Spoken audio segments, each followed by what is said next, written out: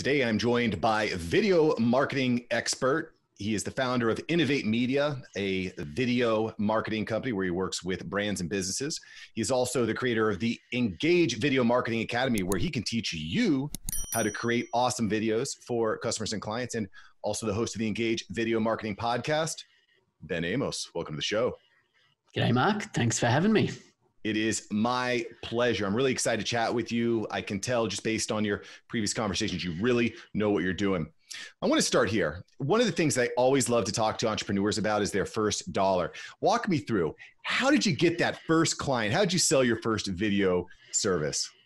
Uh, for me, it started uh, 12 years ago uh, for i mean i'd moved from uh, basically a salaried employee as a as a high school teacher into starting my own business. And that first step of getting the first client was was not easy because I, as a video producer you kind of need, needed to have some kind of um, you know work to show so people would actually pay you. So i actually did i shot my first wedding uh, for a colleague at work uh, for free so that was not my first dollar, um, but it was certainly felt like I had earned more than a dollar.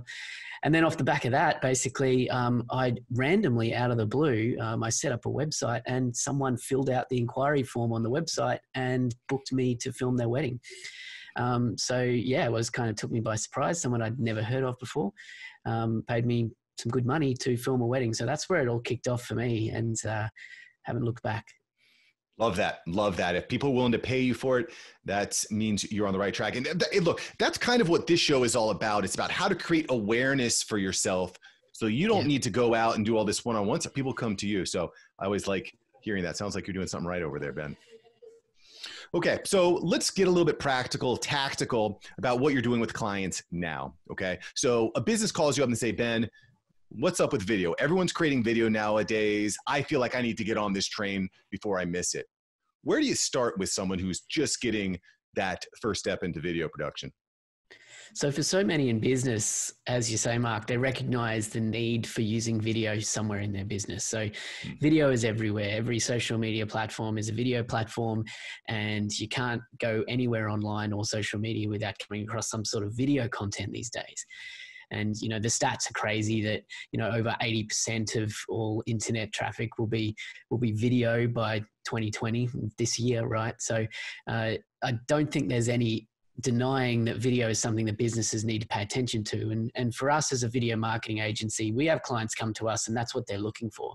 They're looking for video. So either they've seen something that someone else has done and they say, we want that, or maybe they're redesigning a website and the web designer says you should have video on your website. So then they, they're coming to us for that reason. And the, the critical thing is most of them are coming to us for the video.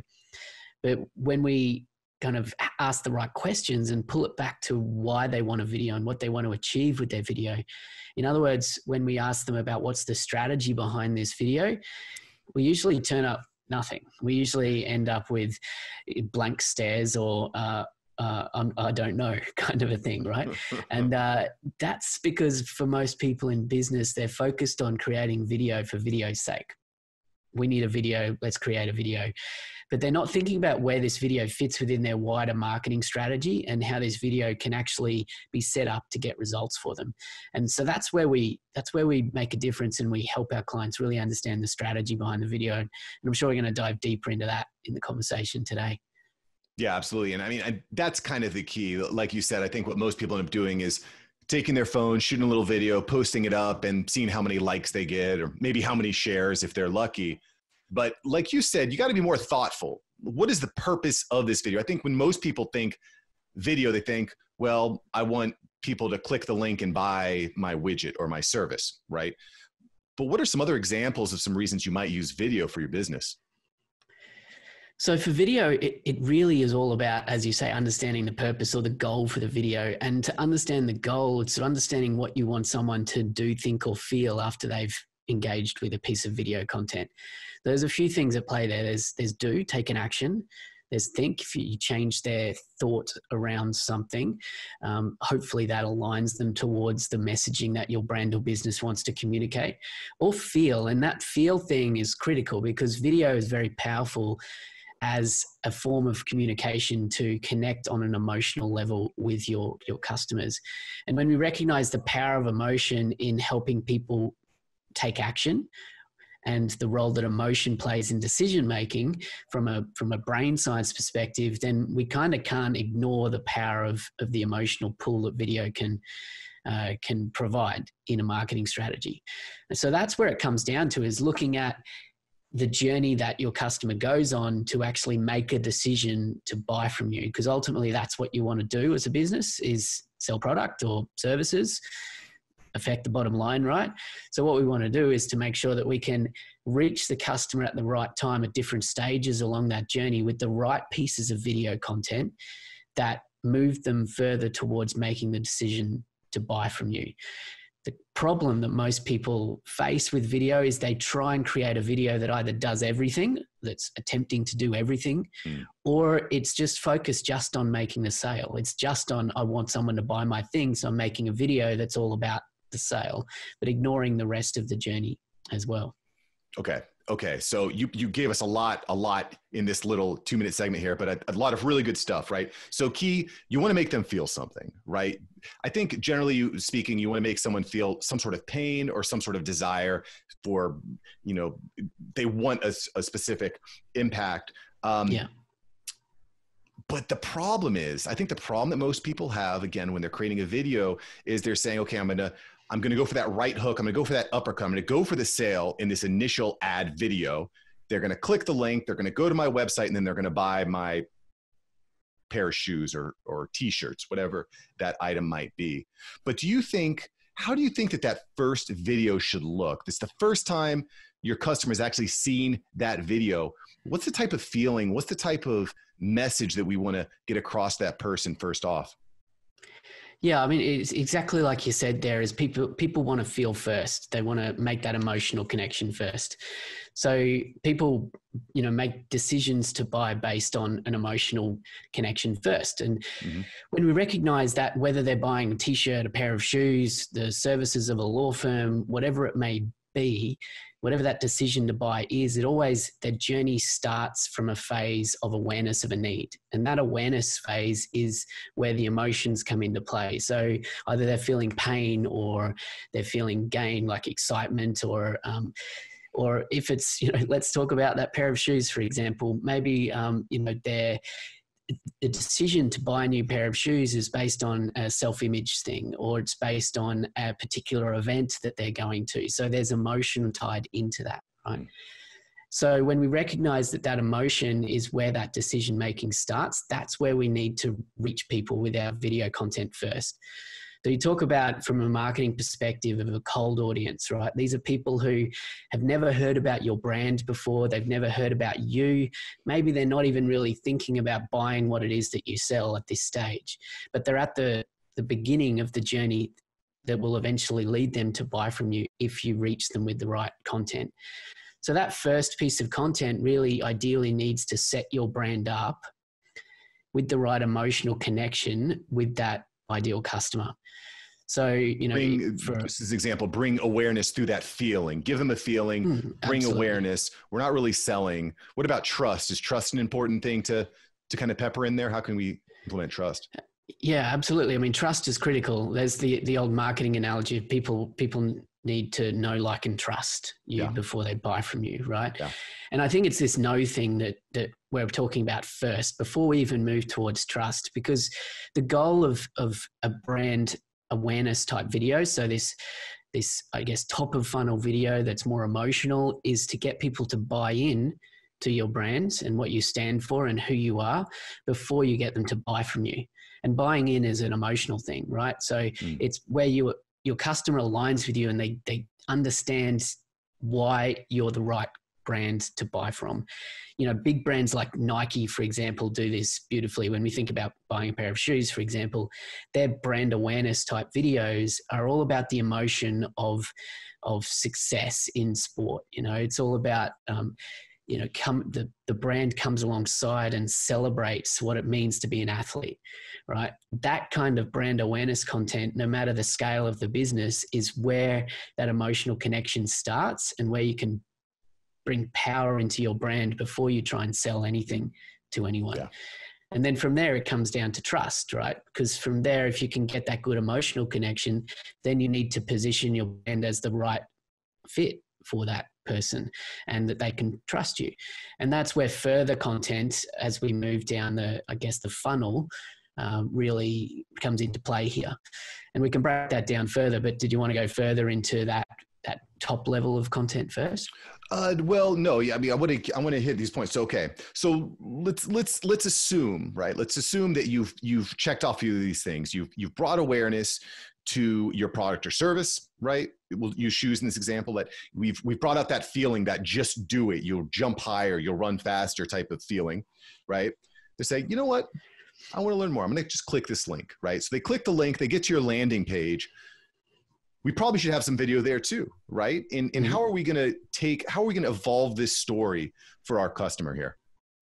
So it's recognizing that in many cases, and it depends on the on the path to purchase for a particular brand or product. But in many cases, people go through a phase of now consideration where they're weighing up their options or they're doing their research. So yeah. now they're they're kind of in the process of deciding to buy something. So, from a marketing term, we talk about the middle of the funnel, and this is where people have an intent to buy, but they haven't committed to buy. So, they're doing their research typically. So, they'll go to your website, or they'll go to your social media pages, or they'll be Google searching things or YouTube searching certain phrases because they want to find information that's going to help them make the right decision for them. And what you want to do here with your content is to provide value right? Um, to educate or inform or inspire uh, the, the customer, the potential customer, so that they they trust you, they know that you're the right fit for them, and so that they understand the value that you're going to provide to them if they make the decision to buy. So, in the example of shoes, for example, what you're going to do is to create maybe content where uh, it talks about um, or it celebrates some of the the use cases of, yeah. of particular types of shoes, right? Um, or maybe if it's you know sporting shoes like Nike, for example, it might be video content that helps them uh, run faster or jump higher. Uh, it helps them improve as an athlete. It's still not talking about the actual shoe that you're going to buy, but it's helping them achieve, uh, you know, better results that aligns with the product that they're going to sell. So it critically here, it can't be sales based content. It needs to be what value can we provide to our ideal customers so that they build that relationship with us as a brand um, so that when they are ready to buy, then they're more likely to buy from us. Love that. Love that. So once you've gotten past the awareness, they've clicked, they're in your your funnel, let's say, or they're in your in your journey now it sounds like what you're doing is you're trying to overcome or you're trying to build that trust right? You're you're they're in their research phase. So they're in the research phase. You're building trust with your video maybe some testimonials right? What what's our goal with this page? We want them to click another link probably right? What yeah. happens with what so what what should the next part of the journey look like then so that, that type of content we're talking about there, it, it may live on on your actual website, but recognize that most people, when they actually get to your website, they're further down the journey. They're actually an intent to buy effectively. Mm-hmm. So that kind of content's probably more likely what I call social engagement content, which is more used, say, on your social media channels, or it's more of your typical inbound marketing kind of an approach. Might that be not to cut you off, but might that be like um, like a retargeting type of video? Perhaps you're thinking, you know. Yeah, in an ad campaign, if, if we're mapping this out as a, as a paid funnel, then this would potentially be a retargeting kind of a video. But organically, this is the kind of content that you share organically through your email campaigns, through your social media pages, uh, on your YouTube channel, that sort of thing, right?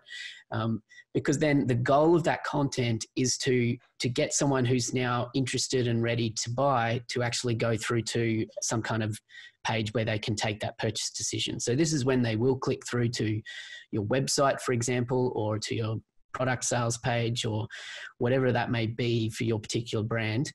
And this is where the content now needs to actually address the rational objections that someone has to potentially buying from you. So, to use the shoe example, so now they're actually on the product page where they can see the shoe, they can potentially see the price, they're looking at a few different options. But what's preventing them from pressing that add to cart button or making that purchase decision?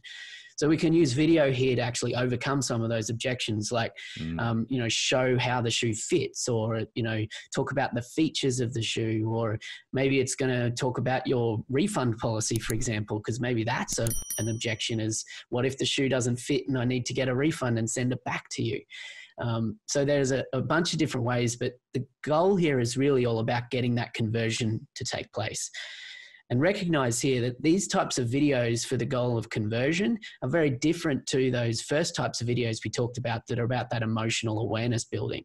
Mm-hmm. So here we need to be talking about the rational stuff, the facts, the features, because that's what people want when they're making a decision to buy. They're about to part with their cash. So they need to know they've got valid questions and they need to know the answers to those questions. And that's what your video should do at this point.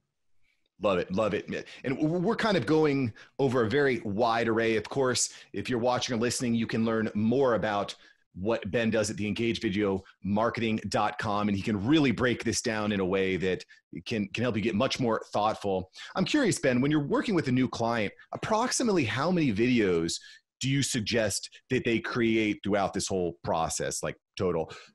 What, what would you say to them?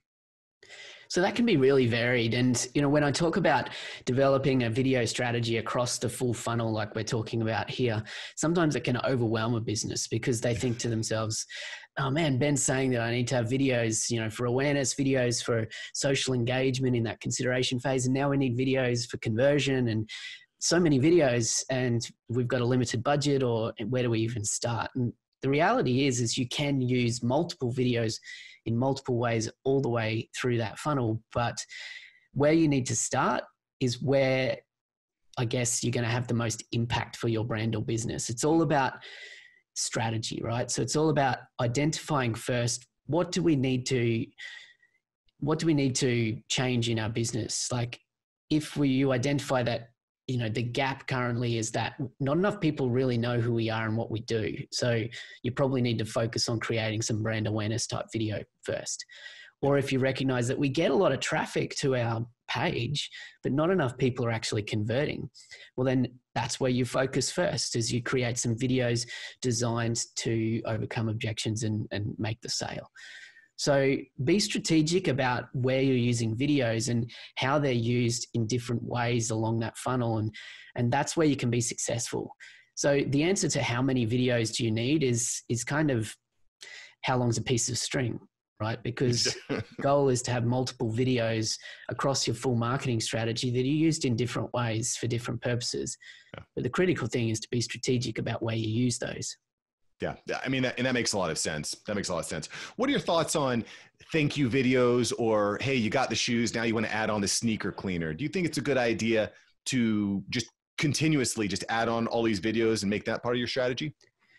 Absolutely. It's an awesome question because the reality is is that uh, once the sale's made at that conversion stage, that's not the end of the funnel. That's not the end of their customer journey with a brand or a business because yeah. It's important to recognize that once someone's bought from you, then they potentially can become your advocates um, and refer new people or buy from you again. And from a video strategy perspective, I talk about the goal here of delight, delighting your customers, and using video in a way that improves the customer experience or the client experience. And some examples, like you just mentioned there, Mark, for example, using video to talk to them about other products, share information about other products they could potentially buy that support the purchase that they've just made. Or thank you videos, you know, thank you for purchasing from us. Or even re engaging past customers. Maybe it's uh, six months since they last bought from you, and you can send a video, even a personalized one to one video message that says, "Hey, Mark, um, you know, we noticed that you know it's been six months since you bought that thing from us. Um, you know, hope you're getting a lot of value from it. Did you know that we can do this and this and this? So you can re-engage them with some some other things that maybe help them in their journey as well.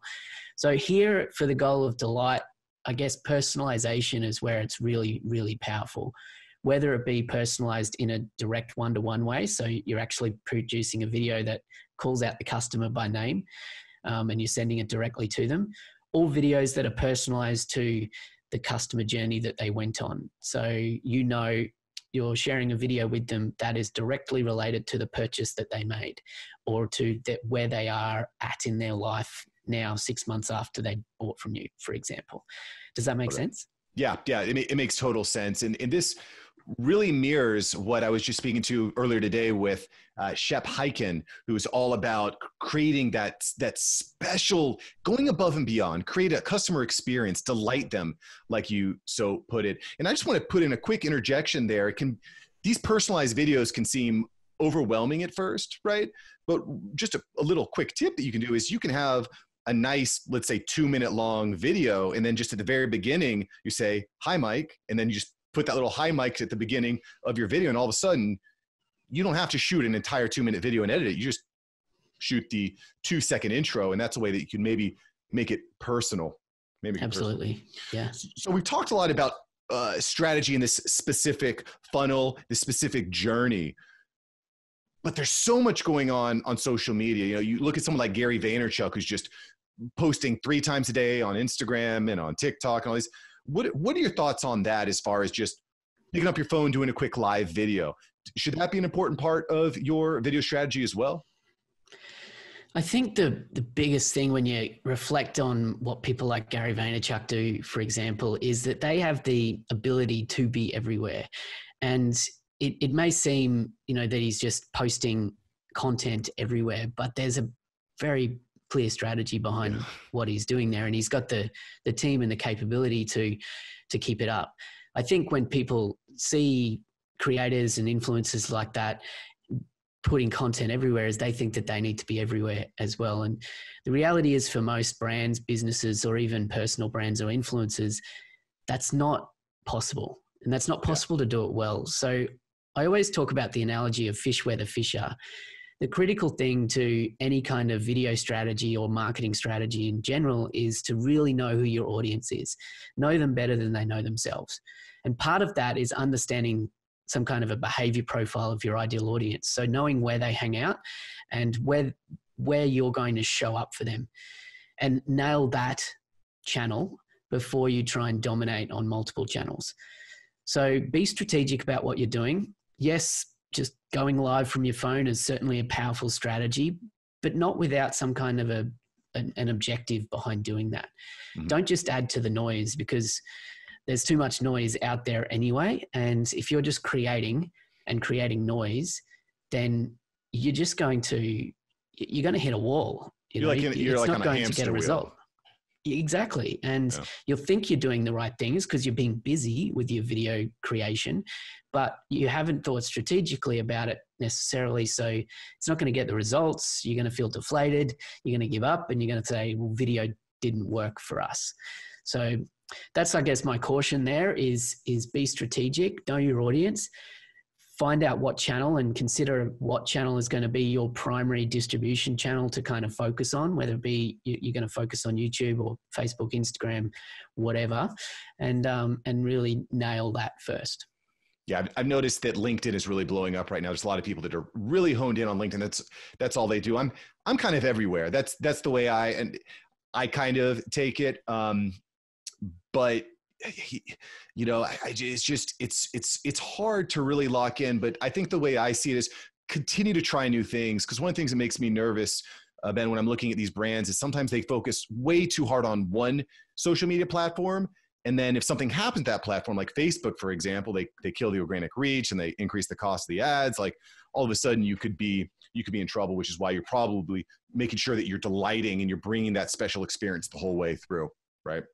Yeah, I think critically what we're talking about here is is purely social media strategy here, um, because an effective video strategy is much wider than that. You need to be, you know, using video to engage your customers, to re-engage past customers, using video on your website, using video in paid campaigns. There's a whole lot more than just um, you know publishing video on social media. And you know, I'm with you on on the fact that you know build putting all your eggs in one basket and building your your brand on rented land you know um, because that you don't control those channels. Um, but well, yeah i guess you said you, you build an email list and you're you're emailing these videos. Maybe you have a text you have a text community as well. Um, yeah. yeah, yeah I, I, I, think wherever you are video should be a part of your plan. Um, and of course, you can learn way more, go way more in depth with an expert like Ben at engagevideomarketing.com, where he will walk you through the process. And I think you'll really like that. Also, your your podcast just hit over 200 episodes as well. Isn't that right? No, we're at about 147 right 147, so okay. nearly at 150. Yeah, so we're not quite at 200 yet, but we'll um we'll get there soon. So, yeah. keep trudging along, but you you definitely provide it's and it's all about video. So if you're looking to get into video, that is the place you want to be. The Engage Video Marketing Podcast. All right, Ben, I want to hit you with a few rapid fire questions here before I let you go, if that is all right. Okay, let's see Yeah. where it goes. Yeah. What is a must-have item for under 25 bucks? What do you have to have? Ah, an iPhone case because I keep dropping my phone. A good one.